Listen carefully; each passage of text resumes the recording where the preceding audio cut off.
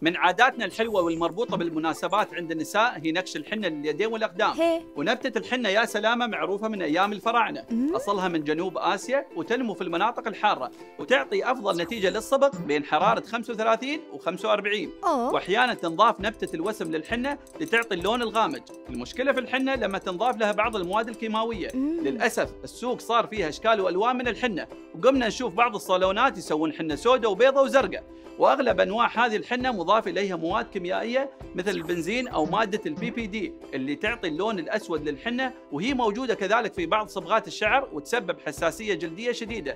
للأسف هذه المواد ضارة وممكن تكون سامة وتوصل نسبتها في الحنة الملونة إلى 30% بينما المفروض ما تتجاوز ال 6% مم. وممكن تتسرب في بعض الحالات من الجلد للجسم وتسبب فشل كلوي. أوه أكيد لا ينصح يا سلامة باستعمال الحنة للأطفال الرضع ولا الأطفال الصغار اللي عندهم حساسية ولا الحوامل أو المرضعات ولا المصابات بأنيميا الفول. هي لازم نتأكد من أي شيء لامس جلدنا إنه آمن ومن مصادر موثوقة وعساكم دوم صحة وسعادة.